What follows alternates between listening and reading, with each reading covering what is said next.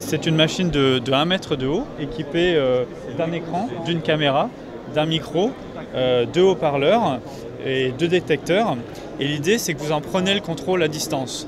Vous connectez sur son interface web de contrôle, lui-même est connecté en Wi-Fi, et une personne à distance peut se projeter euh, selon le principe d'un avatar, peut se projeter dans le corps de, cette machine qu'on appelle Jazz. C'est la possibilité d'avoir une, une conversation en vidéo euh, dans les opérations. Jazz finalement est très bien accepté parce qu'on a tout fait au niveau de son, de son usage déjà pour euh, l'utilisateur mais aussi pour euh, son environnement, pour les gens qui, côtoient Jazz. On a tout fait pour qu'il s'intègre bien.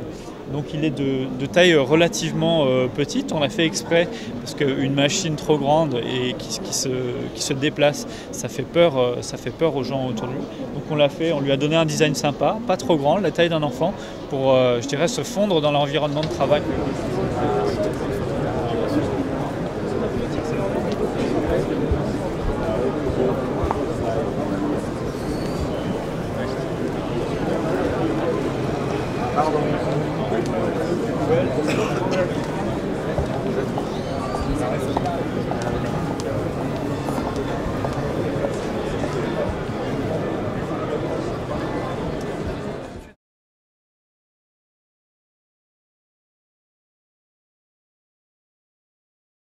C'est un robot qui est capable de faire des rondes, de paramétrer des rondes et de surveiller ce qui se passe dans un entrepôt et de détecter des intrusions ou des incidents qui sont renvoyés au poste de surveillance.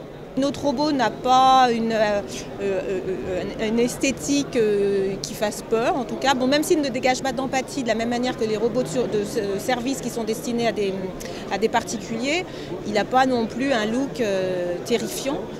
et puis c'est surtout un outil qui a vocation à aider le travail d'un agent. Donc non, la question de la peur ne nous a jamais été remontée en tout cas.